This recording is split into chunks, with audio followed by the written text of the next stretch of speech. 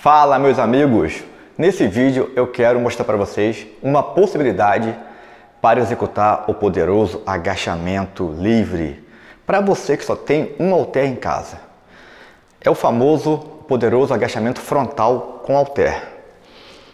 O afastamento dos pés, tá, de uma perna para outra, é o mesmo do agachamento livre, ok? Você pode fazer com esse afastamento aqui, ó, distância tá igual do ombro, tá? Uma boa referência.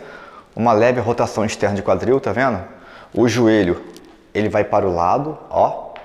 Para quê? Para você ter uma maior amplitude. E amplitude é muito importante, tá? Então veja bem, essa é a forma de pegar o halter. Sentou, ok? Agora sim. Postura, começou. Esse é o agachamento com halter. Ou frontal com halter, né? Por que frontal?